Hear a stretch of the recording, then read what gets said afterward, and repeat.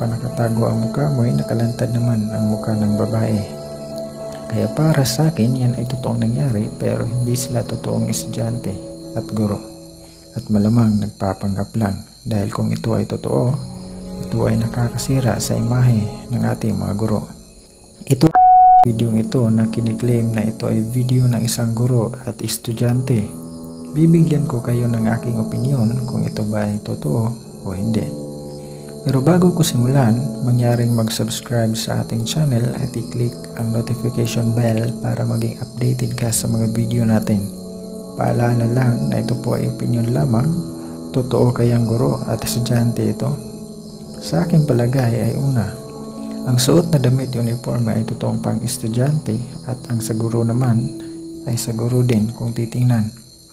Pangalawa, ang mga ganyang uniforme ng estudyante ay nasa junior high school madalas sa senior high school. Pangatlo, sa unang dalawang nabanggit ko, kung pagbabasihan ang estudyante, hindi ba't masyado siyang matured para sa suot niyang uniforme? Pang-apat, kung ikaw ay tunay na guro, bakit mo ilalantad ang kanyang gawain kung alam mo pwede kang makulong? Kahit pa nakatago ang mukha mo ay nakalantad naman ang mukha ng babae. Kaya para sa akin, yan ay totoong nangyari pero hindi sila totoong estudyante at guro. At malamang nagpapanggap lang dahil kung ito ay totoo, ito ay nakakasira sa imahe ng ating mga guro. Ito ang magpapatunay